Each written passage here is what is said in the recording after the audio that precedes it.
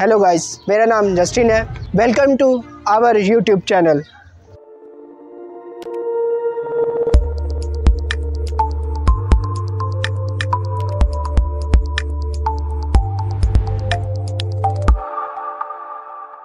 आज हम एक टॉपिक पर बात करेंगे.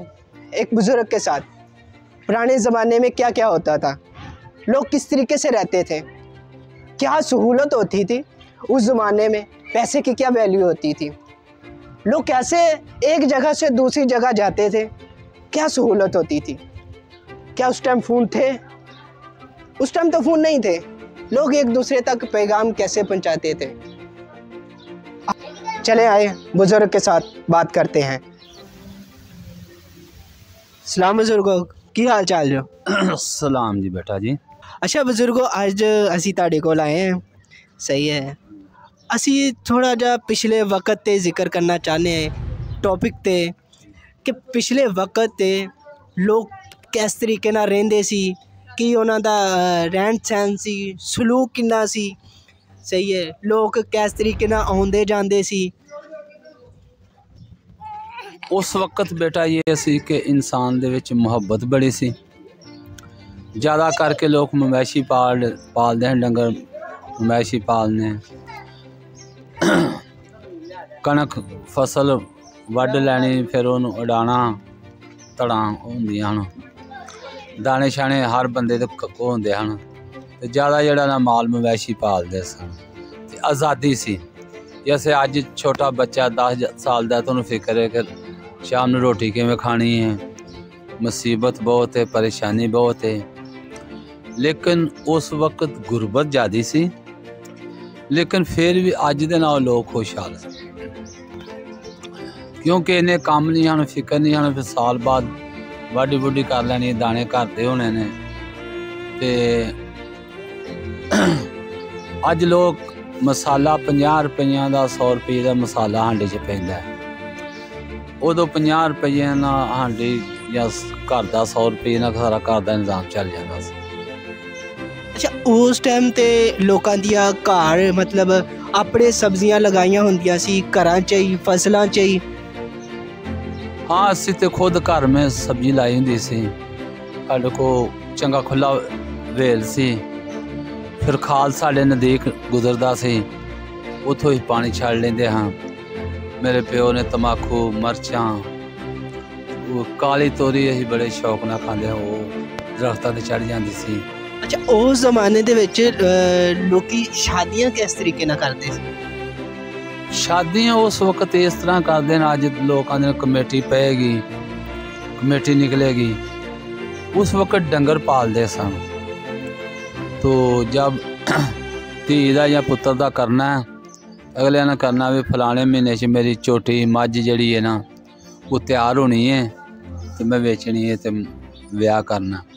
ਮੱਝ ਵੇਚਣ ਨਾਲ ਝੋਟੀ ਵੇਚਣ ਨਾਲ ਸ਼ਾਦੀ ਅੱਛੇ ਤਰੀਕੇ ਨਾਲ ਹੋ ਜਾਂਦੀ ਸੀ। ਉਦੋਂ ਲੱਖਾਂ ਦਾ ਕੰਮ ਨਹੀਂ ਸੀ ਉਦੋਂ ਹਜ਼ਾਰਾਂ ਦਾ ਸਮਾਂ ਨਾਲ ਸ਼ਾਦੀਆਂ ਹੋ ਜਾਂਦੀਆਂ। ਅੱਛਾ ਲੋਕ ਉਦੋਂ ਇੱਕ ਜਗ੍ਹਾ ਤੋਂ ਦੂਸਰੀ ਜਗ੍ਹਾ ਕੂਚ ਕਰਨ ਤੇ ਸਹੀ ਹੈ ਕਿਹੜੀ ਚੀਜ਼ ਯੂਜ਼ ਕਰਦੇ ਸੀ? ਕਿਵੇਂ ਲੋਕ ਟਰੈਵਲ ਕਰਦੇ ਸੀ? ਉਦੋਂ ਹੁਣ ਤੋਂ ਪਿਸ਼ਾਬ ਕਰਨ ਜਾ ਬੱਚਾ ਤੇ ਮੋਟਰਸਾਈਕਲ ਤੇ ਜਾਂਦਾ ਹੈ। ਸਾਡੇ ਪਿੰਡ ਤੋਂ ਸ਼ਹਿਰ 10 ਮੀਲ ਸਫ਼ਰ ਸੀ। ਪੈਦਲ ਜਾਈਦਾ ਸੀ। ਸਾਡੇ ਪਿੰਡਾਂ 'ਚ ਬੱਤੀ ਕੋ ਨਹੀਂ ਸੀ। ਨਾ ਇਸਤਰੀਆਂ ਹਨ ਨਾ ਕੱਪੜੇ ਧੋਣ ਵਾਲੀਆਂ ਮਸ਼ੀਨਾਂ ਹਨ ਖਾਲਾਂ ਤੇ ਕੱਪੜੇ ਮਾਵਾਂ ਸਾਡੀਆਂ ਧੋਂਦੀਆਂ ਹਨ ਵਡੇਰੀਆਂ ਮਾਈਆਂ ਤੇ ਖਾਲਾਂ ਤੇ ਕੱਪੜੇ ਧੋਣੇ ਔਰ ਇੰਨਾ ਖਰਚਾ ਨਹੀਂ ਸੀ ਸੋਡਾ ਉਦੋਂ ਹੁੰਦਾ ਸੀ ਸੋਡੇ 'ਚ ਪਾ ਕੇ ਖੇਸ ਜਾਂ ਰਜਾਈਆਂ ਦੇ ਅੰਬਰੇ ਲਾਣੇ ਤੇ ਉਹ ਦਾਬੜੇ 'ਚ ਪਾ ਕੇ ਤੇ ਉਹਦੇ ਵਿੱਚ ਸੋਡਾ ਪਾਣਾ ਉਹਨੂੰ ਕਾੜ ਕਾੜ ਕੇ ਤੇ ਫਿਰ ਉਹਨਾਂ ਨੂੰ ਲੈ ਜਾਣਾ ਵਿੱਚ ਚੰਗਾ ਕੁੱਟਣਾ ਅੱਛਾ ਬਜ਼ੁਰਗੋ ਤੁਸੀਂ ਇਹ ਦੱਸੋ ਕਿ ਉਸ ਜ਼ਮਾਨੇ ਦੇ ਵਿੱਚ ਸਹੀ ਹੈ ਕਰੰਸੀ ਦੀ ਕੀ ਵੈਲਿਊ ਸੀ? ਪੈਸੇ ਦੀ ਕੀ ਵੈਲਿਊ ਹੁੰਦੀ ਸੀ?